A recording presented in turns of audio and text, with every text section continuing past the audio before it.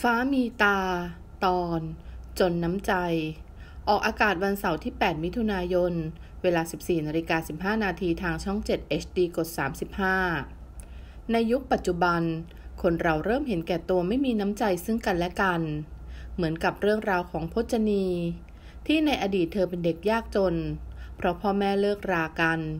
พจนีต้องอยู่กับยาย ด้วยความโชคดี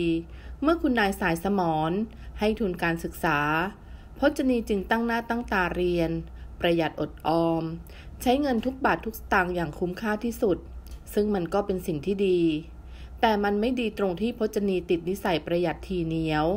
แม้กระทั่งยายผู้มีพระคุณ ยายป่วยพจนีก็ไม่พาไปหาหมอ แต่กลับไปซื้อยาชุดราคาถูกมาให้ยายกิน โดยอ้างว่าเปลือง อพ่อแม่มาหาพจนีก็ไล่ตะเพิด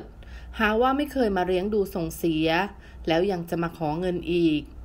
พอมาทำงานในออฟฟิศพจนีก็ไม่เคยมีน้ำใจกับใคร เพื่อนให้ช่วยพิมพ์งานพจนีก็คิดเงิน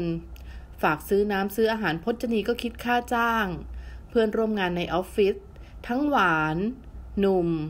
แอม ต่างพากันรังเกียจไม่ยุ่งกับพจนี พจนีไปบอกกับคุณนายสายสมรว่า ที่เขาเหล่านั้นไม่ยุ่งกับพจนี เพราะพจนีจน คุณนายบอกว่าไม่จริง ที่เพื่อนๆไม่อยากยุ่งกับพจนีก็เพราะว่าพจนีเป็นคนไร้น้ำใจ ไม่ใช่เพราะว่าจน เมื่อพจนีรู้สึกตัวแล้วก็เริ่มปรับตัวใหม่ รู้จักแบ่งปันให้โอกาส เหมือนที่คุณนายสายสมรเคยให้โอกาสพจนี